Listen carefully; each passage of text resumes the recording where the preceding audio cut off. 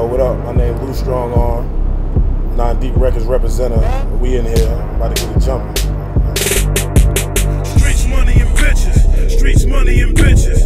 In the kitchen, we whipping. Streets, money, and bitches. Streets, money, and bitches. Streets, money, and bitches.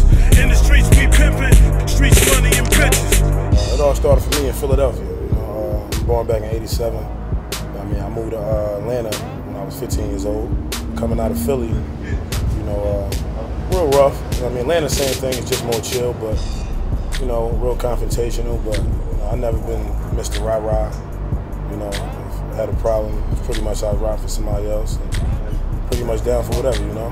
My music career started probably about 1998. You know, I'm a huge Jay Z fan, and uh, you know, coming out of Philly, you know, when he signed Beanie Sigel, you know, uh, I had everybody in Philly hype, but at the time when Jay signed Siegel, you know, that made me want to do it. I mean, and uh, me and my man, you know, we started out in the karaoke, you know, freestyling, and that eventually led to us battling. You know, I won a lot, I mean, but you know, I work with a lot of people uh, coming out of Philly, uh, a lot of people, you know.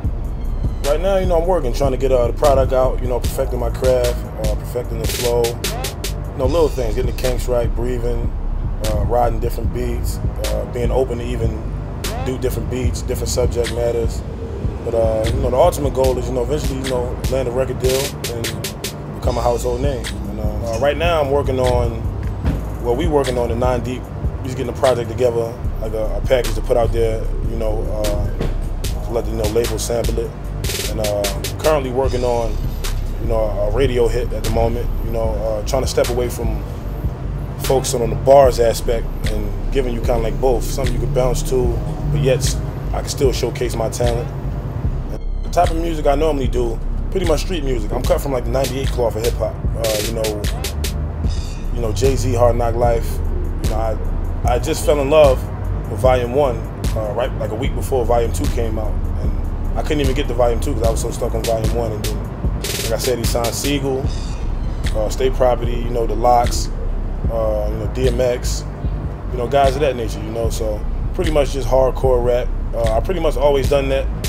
Um, I started out battling. That was the first thing I really took serious. So pretty much real hardcore rap.